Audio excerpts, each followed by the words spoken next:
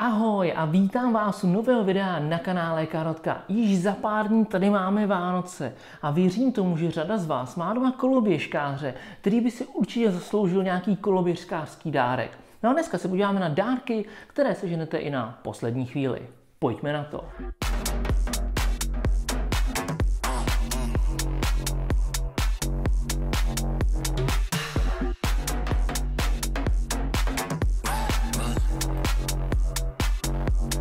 Je naprosto jasné, že ideálním dárkem pro zapáleného koloběžkáře by mohla být nová koloběžka. Jenže pokud je ten váš koloběžkář tak moc zapálený, že si koupil svůj vysněný stroj a řadu do, nebo nějakou dobu si ho tunil, tak přece mu to nebudeme kazit, nebudeme mu to brát a necháme mu to jeho vyladěnou mašinu a podíváme se po něčem, co by mu mohlo udělat radost. Většinu tady těch věcí seženete v každém alespoň trošičku větším městě, v normálních obchodech, tak se na to pojďme podívat. Typ číslo jedna je batoh. Já mám třeba tady ten úžasný batoh, který se jmenuje Point 65N Sweden a je to batoh, který je motorkářský, má teda i ochranu ala páteřák, ale za mě osobně každý batoh pro koloběžkáře je super, protože si do ní může dát flašku na pití, svačinu, powerbanku a spoustu dalších věcí. Takže jestli váš koloběžkář nebo koloběžkářka nemá batoh, tak batohem jim určitě uděláte velkou radost. Dalším typem přesunujeme se ze zad na řídítka. A tam mám hnedka dva typy. Za prvé jsou to gripy. Na většině koloběžek ty gripy, které chytáme do ruky, nejsou z úplně moc příjemného materiálu a doporučuji vám navštívit váš cykloshop ve vašem městě a koupit jim ideálně v barvě, která bude ladit s jejich koloběžkou, nějaké ty pěnové gripy, které budou pohodlněučké. Neváhejte si to nechat vyndat, rozbalit a sami si zkuste, jak je to příjemné do ruky. Pěnové jsou za mě osobně top, mám je na většině koloběžek, které mám. A gumové mm, nic moc, kožené to je trošičku divný. Takže tohle je za mě osobně takový typ. Musím říct, že tohle je věc, která stojí pár korun a při samotném užívání to jeho majiteli udělá velikánskou radost. Když jsme na řídítkách, tak další takový praktický typ za pár korun, a to je držák na mobilní telefon. Spousta lidí jezdí dlouhé trasy, dlouhé výlety a rádi mají na řídítkách navigaci, takže pokud váš protějšek, partner či kamarád, kterému chcete udělat radost, nemá na řídítkách držák na mobil, tak by se mu určitě hodil, aby si tam mohl zapnout navigaci nebo třeba ordinaci v růžové zahradě, je to čistě na něm. Když jsme ještě u těch řídítek, tak pod nimi je velice fajn, když si může pověsit nějakou tu brašnu, pokud nechce tahat batoh, do které si může dát nějaké základní nářadí nebo opět svačinu a podobně.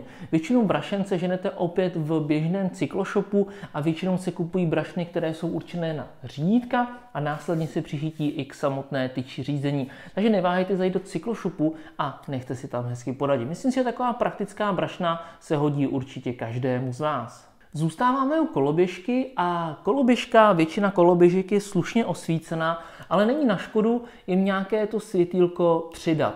A myslím si, že spousta vašich známých kamarádů či partnerů by určitě ocenilo mít na kole či koloběžce naprosto perfektní světla. Za mě osobně doporučuji nebolu od Moonu, ale ty jsou samozřejmě dražší, takže i nějaké obyčejnější světlo by určitě udělalo velkou radost. A pokud ten člověk jezdí i v noci, tak se mu rozhodně hodí nějaké silné světlo na předek, aby opravdu dobře viděl. Tady bych doporučoval koupit nějakou sadu, neříkám, že to musí být zabaleno společně, ale koupit mu jak přední, tak i zadní, ať to má opravdu velkou radost. Když už teda vyrazí na výlet a balí si tu svačinu do batohu nebo do své nové brašně, tak si tak jako člověk říká, no jo, ale do čeho si dá pití?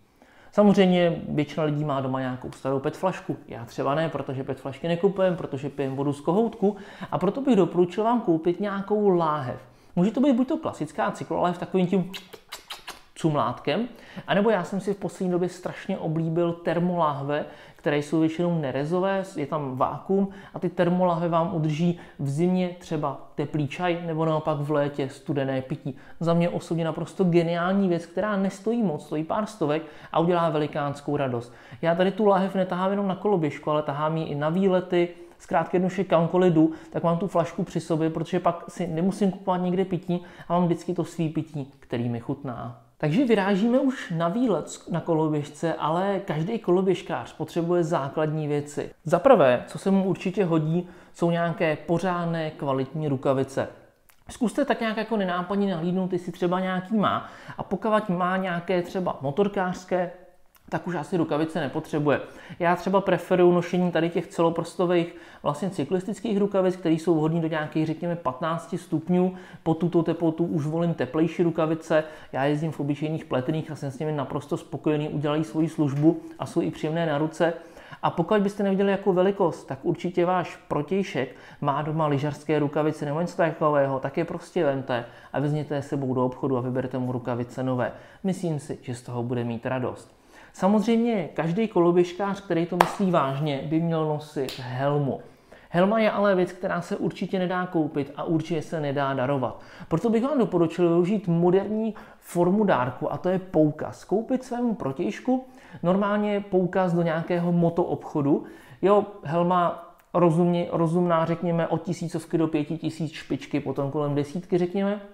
Takže nechám na vašem uvážení, kolik do toho poukazu chcete nasypat, ale myslím si, že takový poukaz na helmu do Motoshopu bude naprosto geniální dárek pro někoho, kdo třeba začíná jezdit a zkouší nějaké ty silnější stroje, koketuje s tím lítat trošičku rychleji a chcete, aby jste o svého partnera nepřišli tím, že by se na té kolběžce třeba zabil. Helma je super věc. Pokud už helmu má, ale jezdí v zimě, tak věřím tomu, že je mu trošičku zima. Určitě není na škodu, já tady mám úplně dobrou ukázku. Ale v běžných sportovních obchodech nebo obchodech se sportem si dají koupit takzvané čepice pod helmu. Je to velice tenká čepice, která se převážně používá na lyžování. A je i perfektní pod klasickou motorkářskou helmu právě do zimy, protože ty helmy nejsou jako stavené na zimu, řekněme. A proto mít ještě pod helmou nějakou tenkou, je nutné, aby byla tenká, čepici je geniální věc. Pokud je váš partner třeba sebevrach a občas jezdí bez helmy, stejně jako já to občas dělám, nedělejte to, tak můžete koupit nějakou normální pěknou čepici. Ocení to, že nebude mít zmrzlé uši. Pokud tohle všechno má, tak pořád máte co kupovat, protože můžete koupit takzvanou kuklu. Kukla slouží k tomu, že vám zakrývá vlastně obličej a vlastně i část hlavy. Spousta kukel třeba těch lyžařských jsou vyloženě i jako náhrada čepice, že pak už je takhle jenom díra na nos a oči. A za mě osobně je to naprosto fantastická věc pro ježdění hlavně v zimě a při nižších teplotách. Doporučuju. Na závěr tady pro vás mám poslední tři typy, které se týkají vlastně dva z nich údržby koloběžky. Myslím si, že každého koloběžkáře by potěšil nějaký slušný kompresor, díky kterému si zajistí to, že ve svých pneumatikách bude mít vždycky dostatečný tlak a bude to naprosto přesně vědět, jaký tlak tam má. Pokud nechcete kupovat kompresor za 1000 korun, tak docela dobrou alternativou jsou i pumpičky, které mají na sobě tlakoměr, kde vlastně člověk vidí, jaký tlak je uvnitř. Za mě osobně ten kompresor je taková trošičku, jak to říct, rothschildovina, taková zbytečnost pumpička s tlakoměrem bohatě stačí a navíc nevydává tak strašlivý zvuky jako tenhle kompresor. Dalším dárkem, co je už ryze praktický a strčí se do té brašny, co už určitě má nebo dostal, je sada na opravu pneumatik.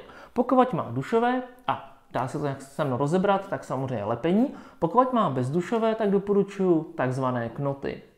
A na závěr, nejlepší dárek ze všech je poukázka na možnost jít se projet. Víme to moc dobře, že někdy vás štve, že váš partner se chce jít projet a vy jste zrovna plánovali, že budete dělat něco strašně důležitého, třeba kupovat svíčky do IKEA. Tohle je především pro dámy, pokud jste pánové, tak jste plánovali jít třeba vyměňovat olej v převodovce na vašem autě, což dámy taky moc nebere, tak jim dejte poukaz na projížďky, které oni potom budou moct použít, kdykoliv se budou chtít projet.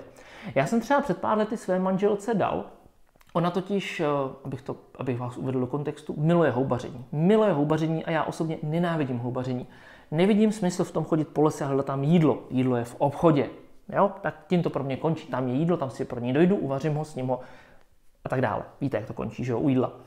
A ona miluje houbaření. A říkám si, udělám jí radost.